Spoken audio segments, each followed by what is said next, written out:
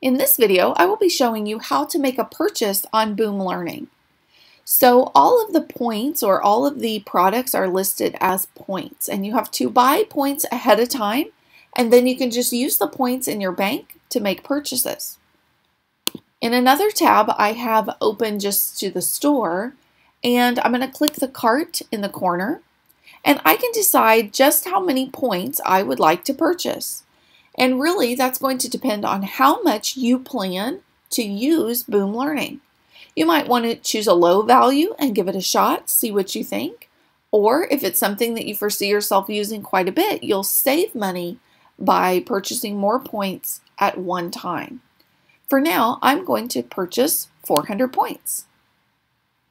I'm going to pause the video, complete the purchase, and resume recording in just a minute.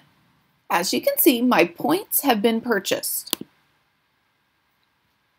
Now when I come to this product and I choose Buy Now, it says, do you want to buy this deck for 175 points?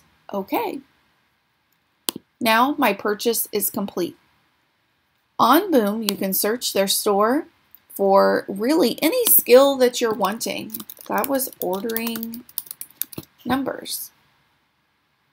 You could also choose addition, subtraction. There are things for reading, writing, decoding. There are so many options here on Boom, and all of them are interactive.